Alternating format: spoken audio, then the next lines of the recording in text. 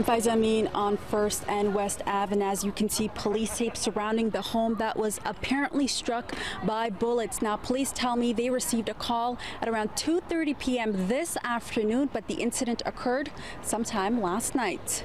I would really like some answers as to what was going on and who did this, yeah. This woman says she was rushing to her friend Natasha's side after hearing her home, situated in the First and Logan Avenues area, was shot at last night. Those bullets eventually killing the family's pet cat. It's Riverdale. It's I think it's one of the best neighborhoods in Toronto.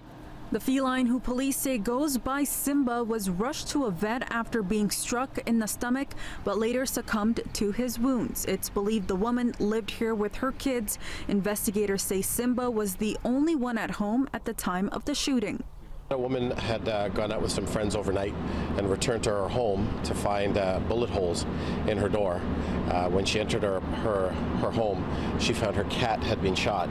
Police at the scene tell City News they believe the screen door might have been open when the shots were fired.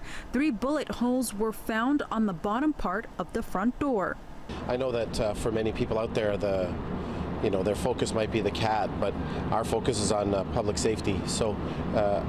Bullet holes through a front door. That's a, that's a danger not only to her or anybody that might be in her home, but uh, anybody that might be in an apartment adjacent because uh, bullet holes can go through homes, walls, doors, that kind of thing.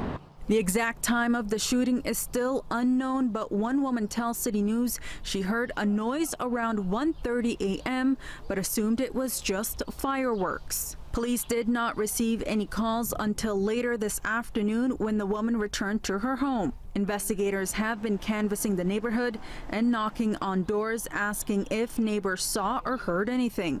At this time, investigators say it's too early to tell if there was an intended target.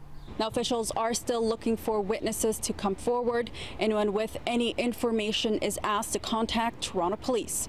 Amin, City News.